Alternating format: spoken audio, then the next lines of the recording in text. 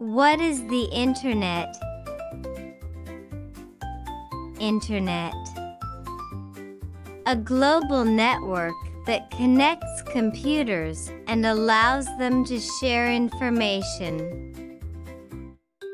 Websites Online pages where we can read, learn, and watch content. Web browser A software like Chrome or Safari used to access websites.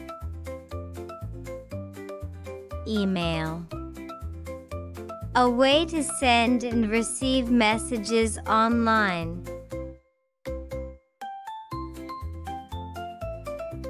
Search engine A tool like Google or Bing that helps find information. Online safety. Rules to stay safe while using the internet, like not sharing personal details.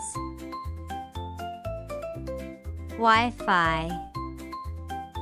A wireless connection that allows devices to access the internet.